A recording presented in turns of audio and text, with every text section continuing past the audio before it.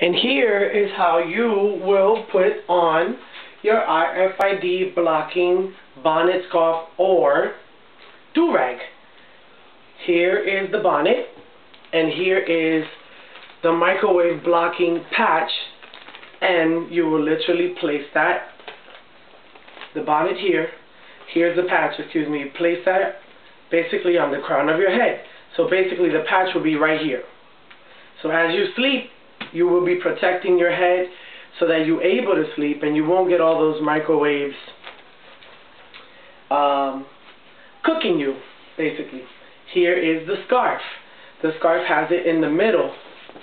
It's in the middle. So what you do is you fold it into a triangle like you would normally do a scarf. Make sure that's folded. Or actually leave it as a square. So you see you you'll see the square there.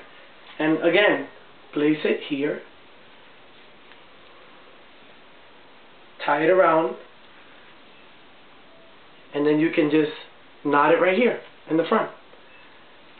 Sleep with this, and you'll be protecting yourself. You'll be giving yourself um, ability to sleep correctly without being interrupted, and you will also, again, not be frying your brain. Um, now here is the do-rag. The, do the patch is placed inside the do-rag at the top.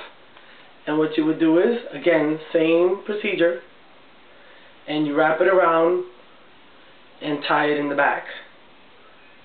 Let me say, this is not for fashion. This is not for trying to look good. This is simply to make sure that you are getting safety, that you are stopping a lot of the microwaves that we're constantly being bombarded with on a daily basis with um, Wi-Fi modems in the house and you can stop a lot of the actions. You might uh, uh, be able to stop headaches.